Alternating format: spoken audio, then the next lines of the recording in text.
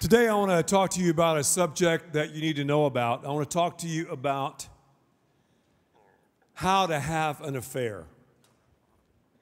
How do you end up sleeping in the wrong bed? If you're single, you need to understand this information because 90% of you will get married, and you need to know the finer points of sleeping in the wrong bed. If you're married, you've got to understand how to commit adultery. It's very, very important because the pathway to promiscuity is a predictable one. It seems crazy that you can officiate a wedding like I've done hundreds of times and see two starry eyed lovers just soaking each other up.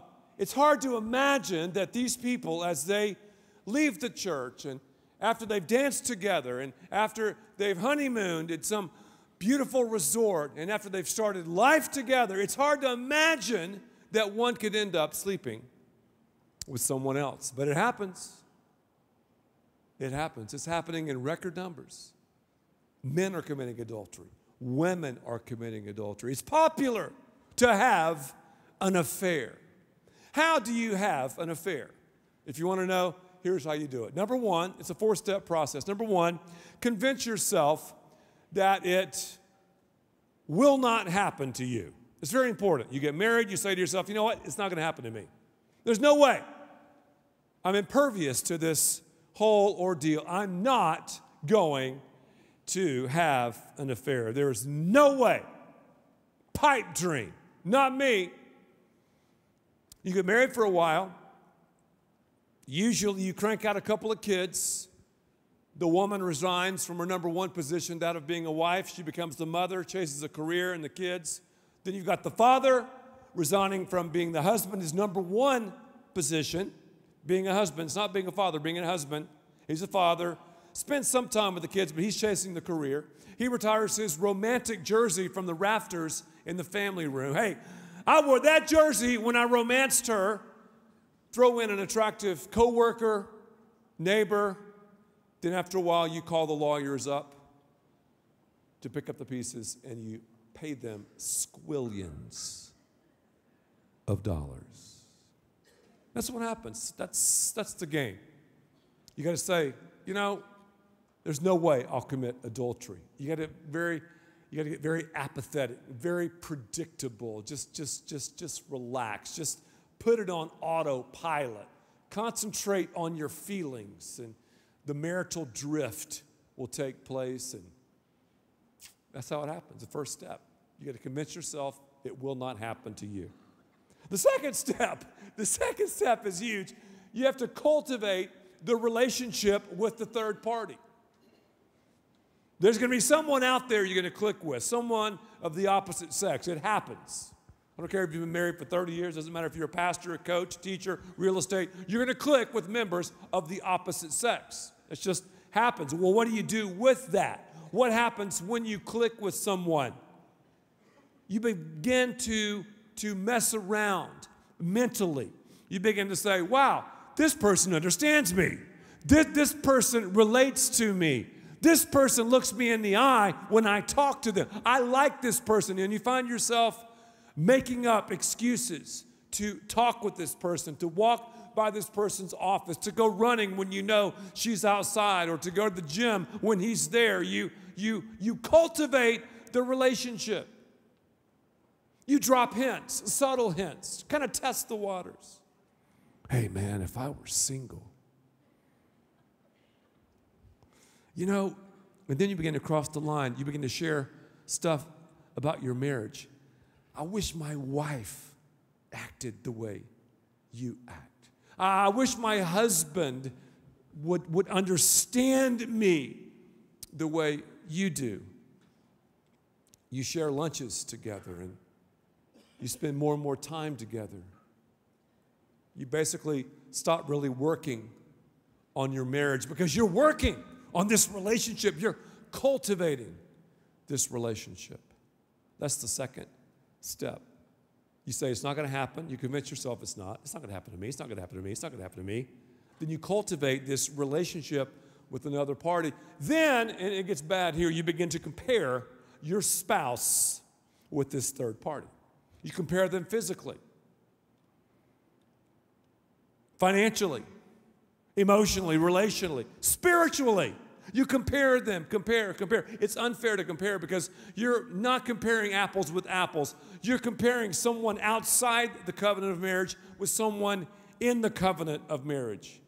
You're not comparing this person when they deal with life in the raw. You're not comparing them when they're worrying about mortgages and insurance and car payments and car pools. It's unrealistic. They wear their cutest outfit to the gym, their best look at the office, or maybe you delve into porn. One of the insidious, one of the insidious aspects of porn is the fact that we animalize humans and humanize animals. We simply say, you know what, you're a dog in heat, I'm a dog in heat. Boys will be boys, girls will be girls. We compare our spouse to these images that are unending we see on the computer screen. Nobody can, can, can compare. These people you're looking at, you're lusting over for your sexual hit. These people are totally out of the context of any relationship. They're just genitals, just bodies with parts. I can't tell you how many, how many marriages have been torn apart through pornography.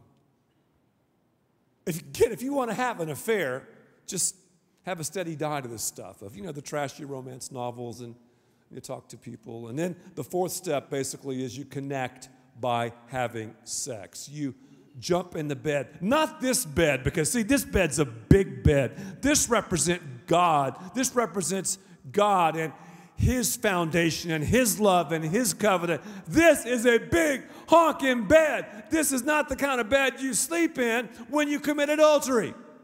When you commit adultery, when you have an affair, one second.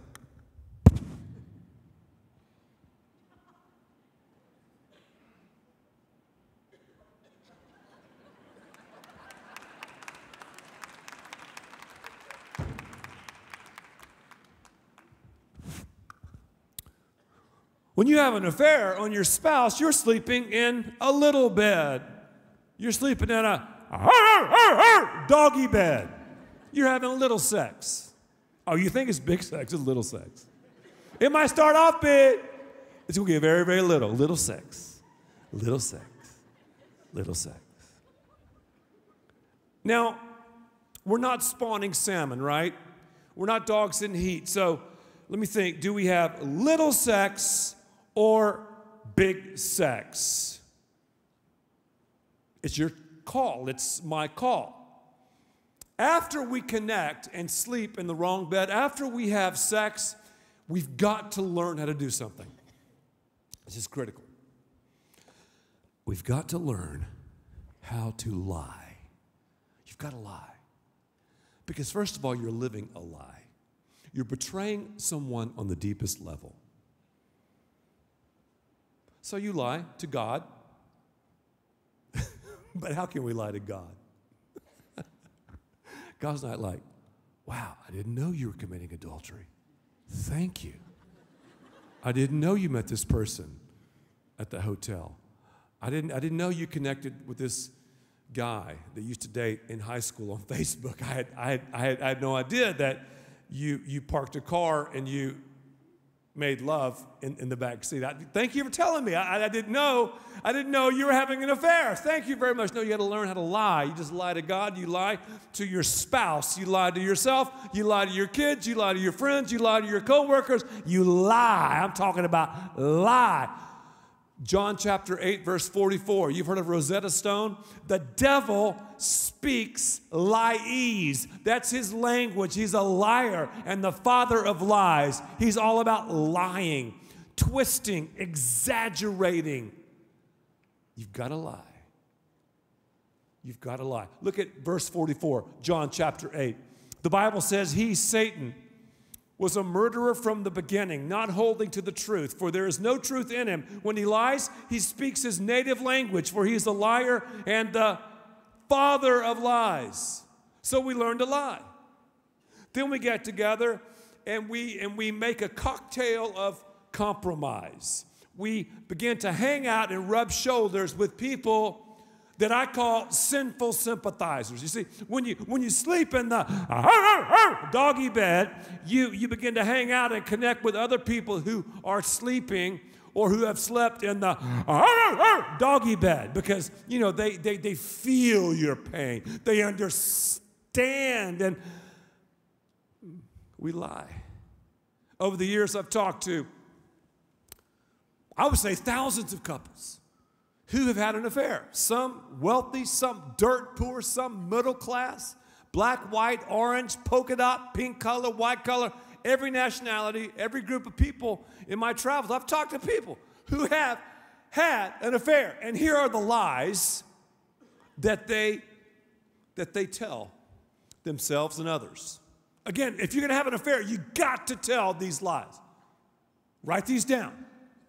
Because if you do this, you will end up, generally speaking, falling in these four categories of lies. Number one, I didn't really love my spouse when I walked down the aisle. That's a great lie. You know, I did. We got married 10 years ago in that chapel. I, I was forced into it. I knew I shouldn't have done it. My parents made me do it. I mean, it was so expensive I couldn't turn my back. I, I didn't really mean it. I did not mean those words, man. I didn't mean it. I didn't mean it. You got to say that. You said it. Before God and before witnesses, you said it.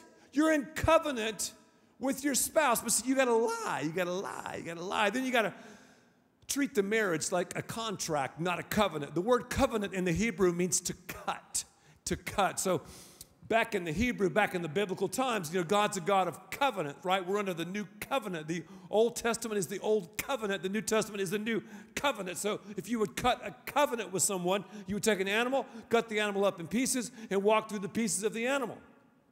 You were saying, I'm totally committed to you 100%.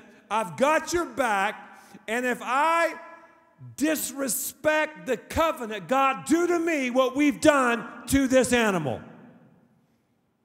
But we live in a contract crazy world, man. Gotta have contracts. You can't do anything without a bunch of lawyers and contracts. Contracts, fine print, clauses, contracts, contracts, contracts. My marriage, you see, it's not a covenant. It's just a piece of paper. Come on, it's just a piece of paper.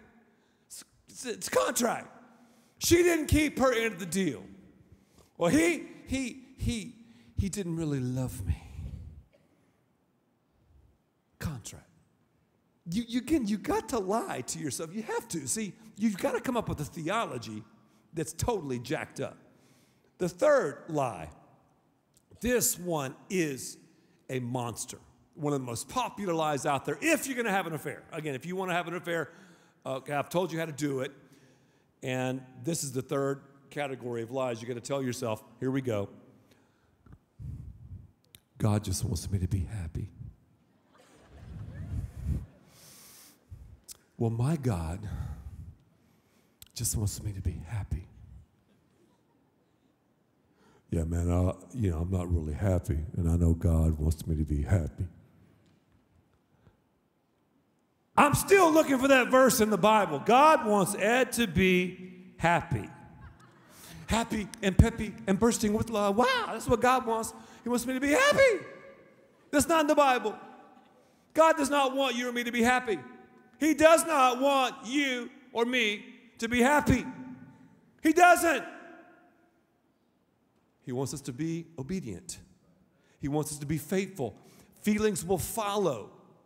We have moments of happiness. I'm not saying that. But to sit there is like, well, I'm going, I'm, going, I'm going to sleep in that small bed because God just wants me to be happy. yeah, you'll have some happy times in the small bed. Sex outside of marriage is fun. Has its kicks, but as I always say, the kickbacks,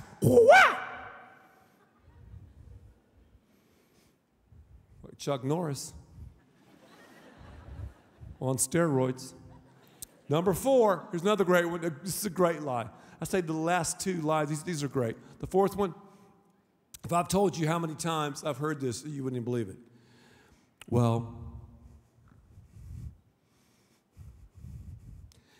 yes, I've slept in the small bed, but God will forgive me. God will forgive me. Oh, so you're being smart with God. You're outsmarting God. God will forgive me. Yeah, He'll forgive me. Yeah. Yeah, He will. Wow, duh.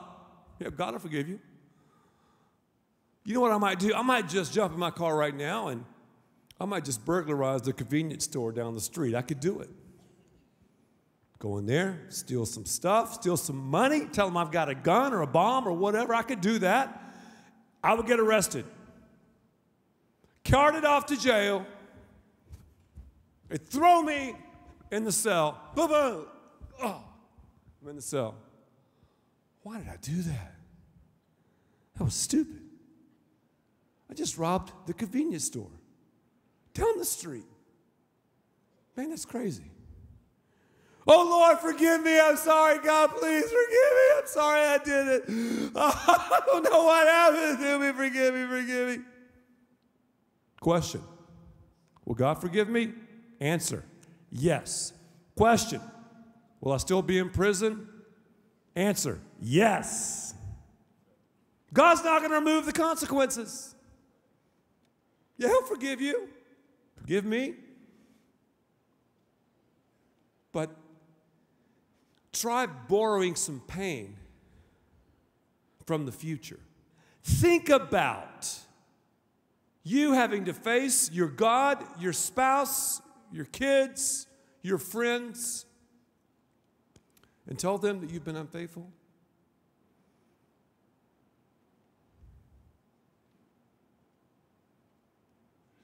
Here's the good news we can press a button and reverse the process. Do that sound effect with me. We can press a button and reverse the process. Isn't that amazing? Because the same steps it takes to have an affair with someone who's not your spouse are sort of the same steps that we can take to have an affair with our spouse in the context of marriage. Did I hear somebody clap? Did you just get that? I'll say it again. I, I don't think you were listening up in this church. I said the same steps that we take to commit adultery are the same steps that we can take to have an affair in our marriage. That's what I thought. Number one, because we're reversing it. Convince yourself it can happen to you. Ever seen a deer drinking?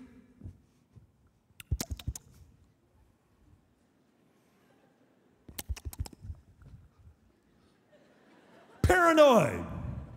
Always looking, always watching. Now, we shouldn't be paranoid as spouses. We should, though, protect our marriage by saying, you know what? It could happen to me. Has God ever called you, hey, that's a woman after my own heart? Has God ever said, oh, yeah, that's a man after my own heart? Has God ever called you that? He's never called me that. He called David that. David committed adultery when he was at the top of his game. The Bible says he should have been out to war, kicking butt, but he was at home, kicking back in his palace. If you know anything about architecture, back in the day, the palace was the largest building. It had a flat roof, it overlooked all the other homes. David, what are you doing? You should have been out fighting, David. What are you doing, David? Had a bodyguard named Uriah. He was married to a beautiful woman. I'm talking about a biblical babe. Her name, Bathsheba. It was in the late afternoon. David knew that women bathed during that time. David knew that the cisterns caught the water, and the water was warm with the afternoon sun. He knew where Bathsheba lived. If he'd stayed in the middle of the rooftop, kicking back, watching ESPN, enjoying his outdoor furniture, maybe smoking a Cuban cigar, everything would have been a okay. But no, no, no, no, no. He walked to the edge and the ledge. You see, you can only see Bathsheba when you're on the edge and the ledge. And the Bible says David looked at her, saw her, but the first look is not what messed him up. Lusted after her, texted her, she met him in his bedroom, and they had sex. Then, to top that off, a man after God's own heart, David, had Bathsheba's husband, Uriah, his personal bodyguard, killed. A man after God's own heart. A year later, Nathan, the prophet of God, told David a story. David was a sheep herder when he was young. And this story was about a little lamb who'd been taken advantage of. And as he told David this story, David said, I'll tell you what should happen to that guy. That guy who messed around with that lamb should be killed. And Nathan said, Hey, David, you're the man. Did God forgive David? No doubt. Did God cleanse David? No doubt. But the Bible said the sword never left his household. You want to read about consequences? Read about the tumultuous times of the life David led after he slept in the doggy bed. You don't fall when you're climbing the ladder.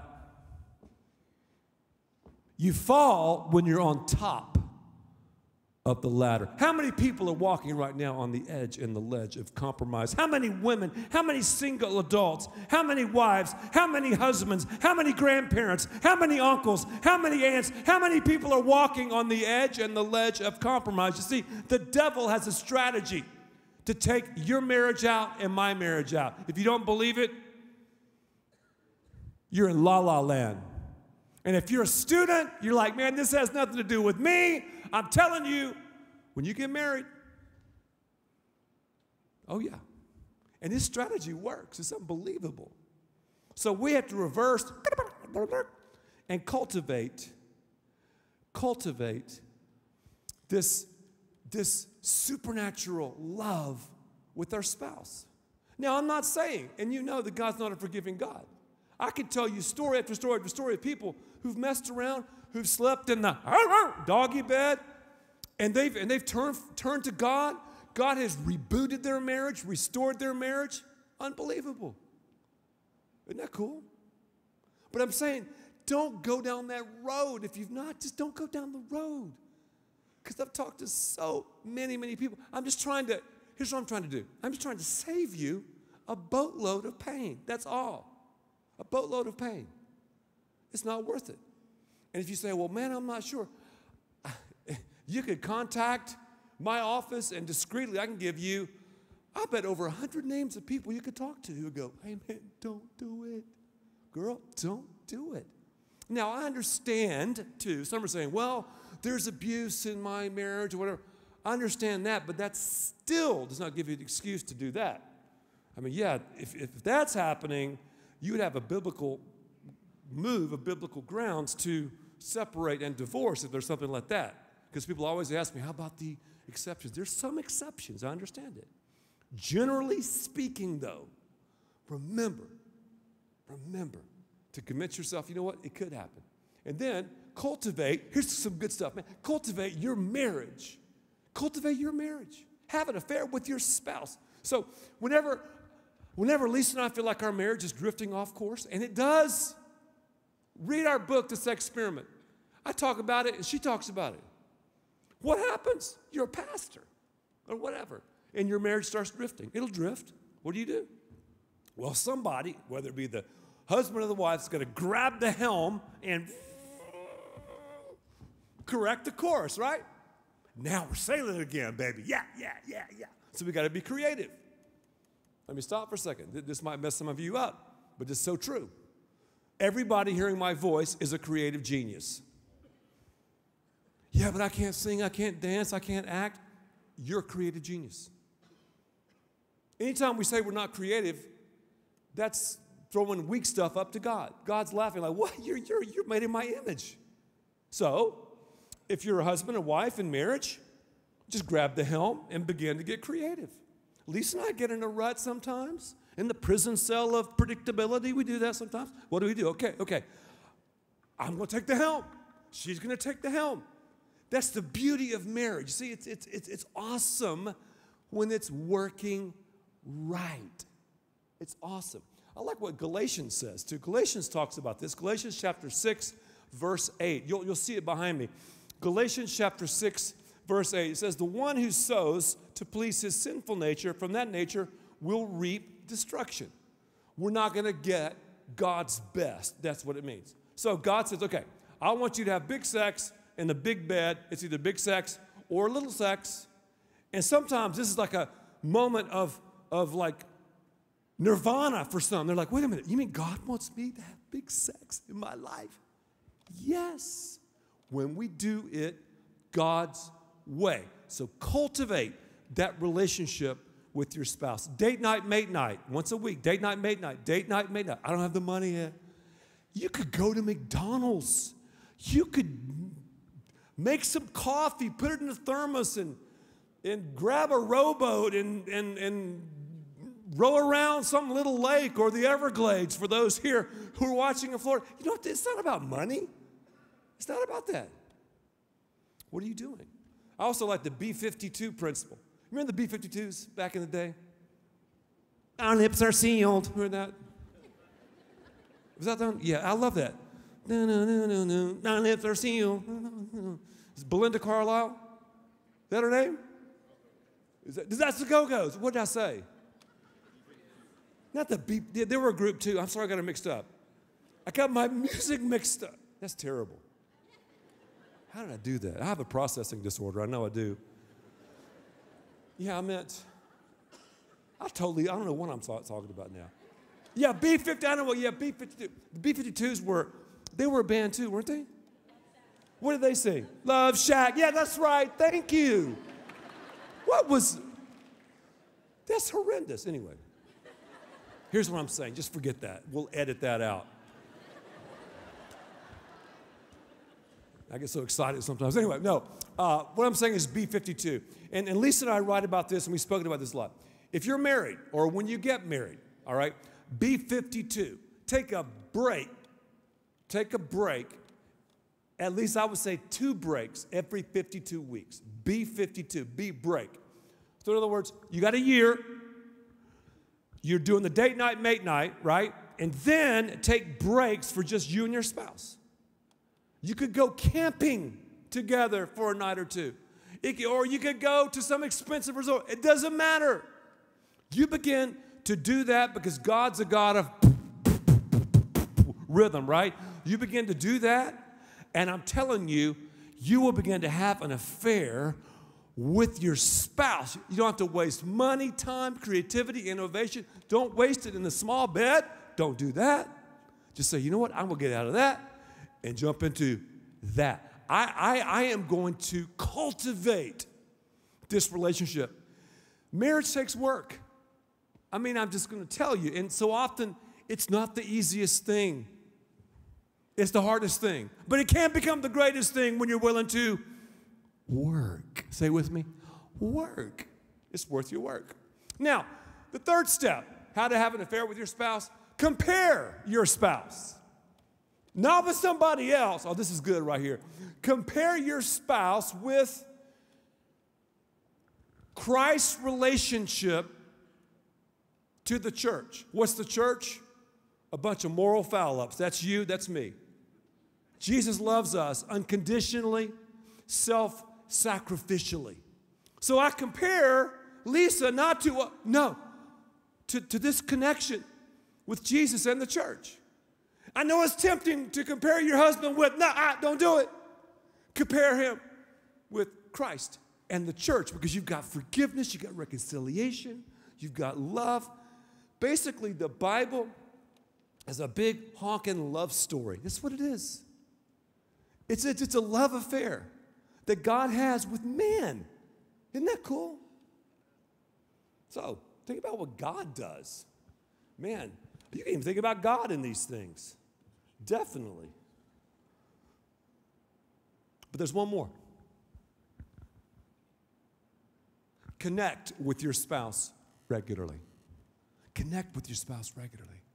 The Bible says that we should be intimate with our spouse regularly. What happens inside the bedroom affects what happens outside the bedroom. What happens outside the bedroom affects what happens inside the bedroom. Here's what's weird about the little bed. Okay, when you get in the little bed, and and you know when you have sex before marriage, here's what's weird about the little bed.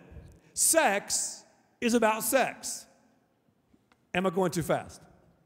Sex is about sex thrills and chills of sex. And sex in a little bed is good for a while, it's fun and all that.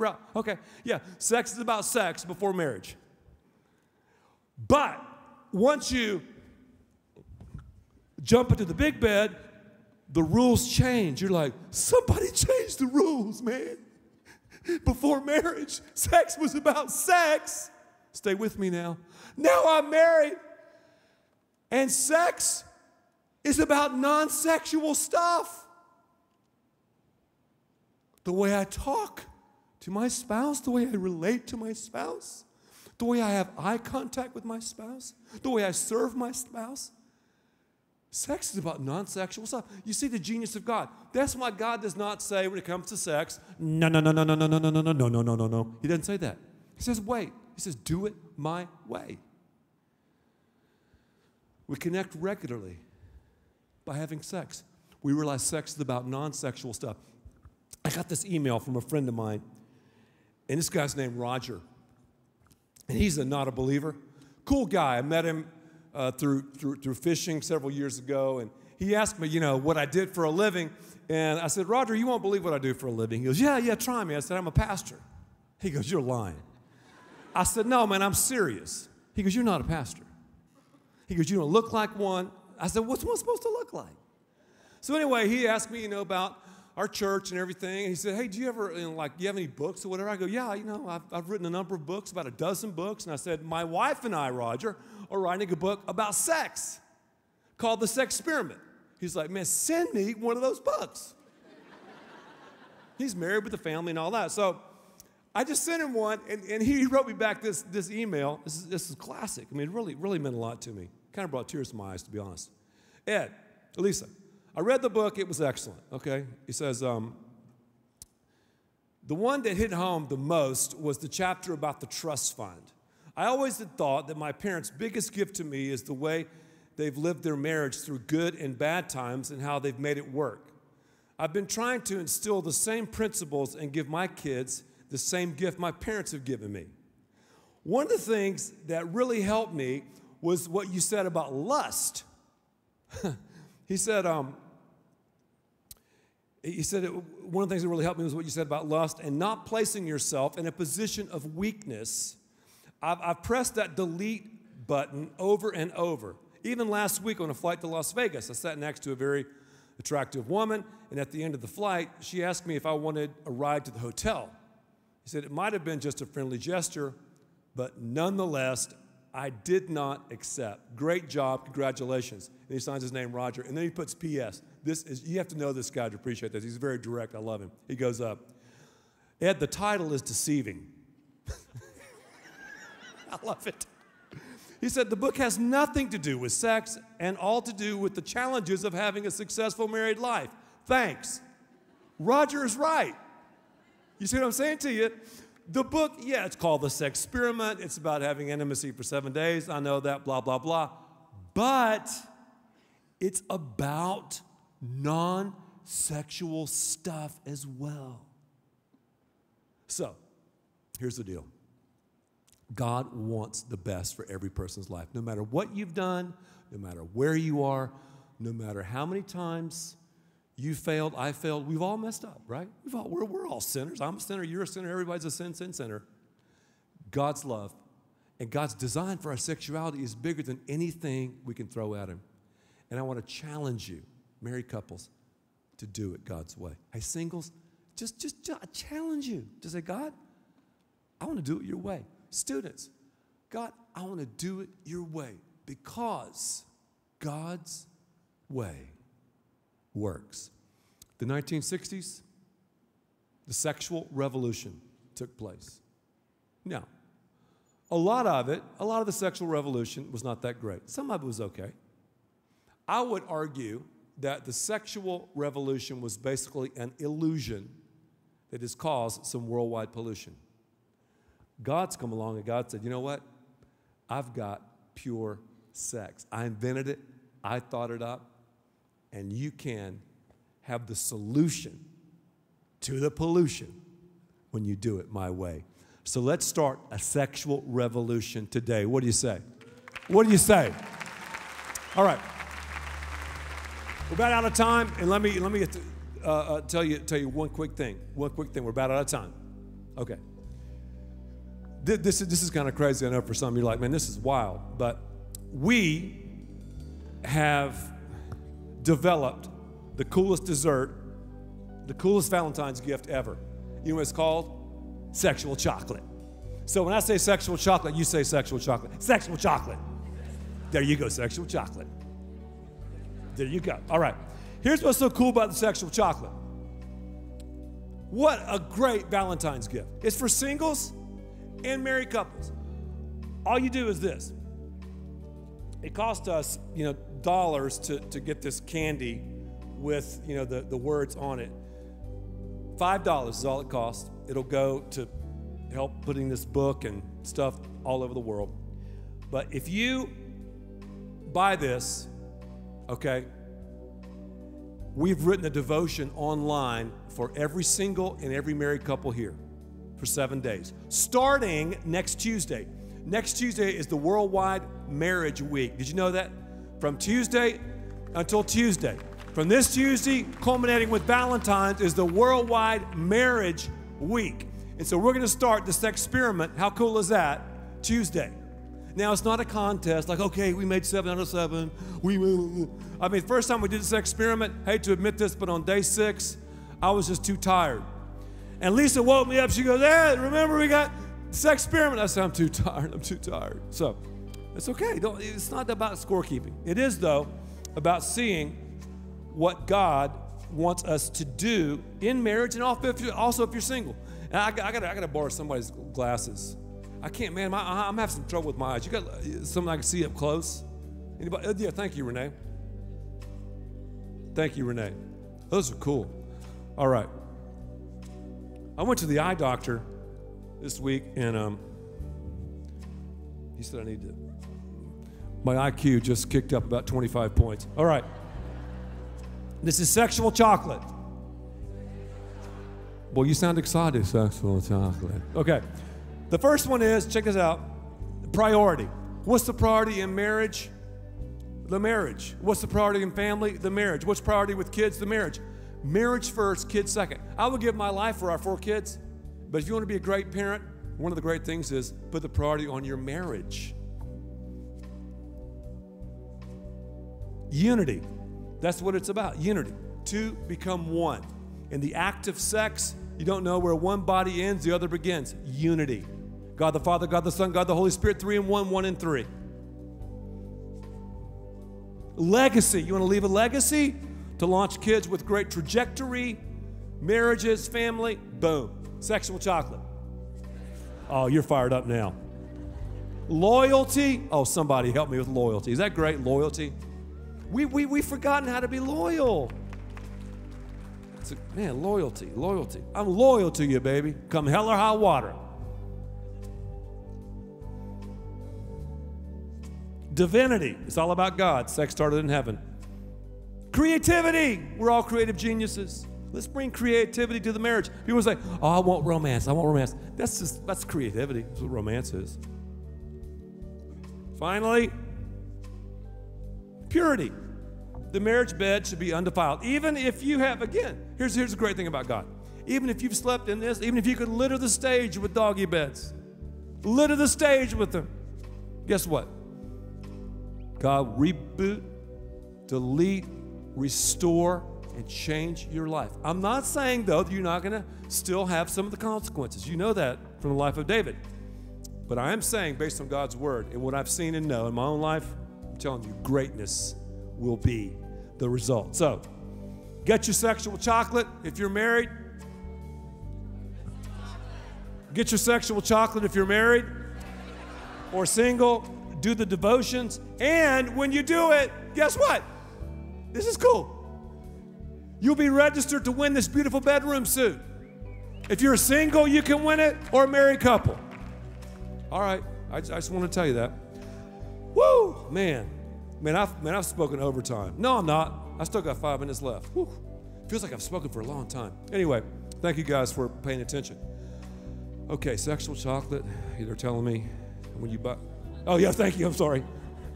All right, now, okay, now, now, now. I want to have a prayer I want to pray for every person here, and then we'll move into our offering. God, you're so good. You're so awesome. Thank you for every person here. Lord, you brought us here for a reason, and that reason is to hear and to experience what you have to say to us. I pray for every, every marriage here. Lord, I pray for the next several weeks. Some, God, who need counseling, who need help, need to go into a counselor's office, a Christian counselor's office, and get help.